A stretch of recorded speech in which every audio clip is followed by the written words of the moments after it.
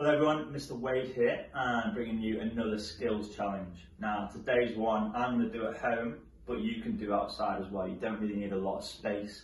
You're just going to be doing some movements back and forward. I'm going to be trying to move like some different animals today. So I'm going to show you a few different ones that I like and then I would like you to go and have a try at loads of different ones and see which ones you can come up with.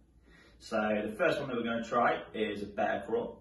So for this one, you're going to be down on your hands and knees, and then you want to come up so that your knees and shins are off the floor, and then you're just going to start moving forward in a bear crawl, trying to keep that back flat and move your legs as you go along. Okay, so that's the first one.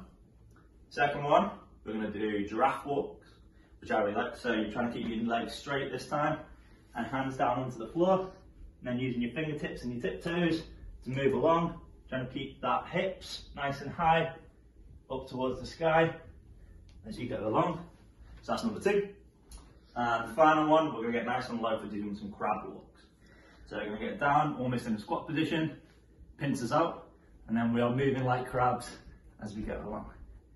Okay? So those are my three movements for you. I would like you to have a go at trying those three and then try three other animals as well.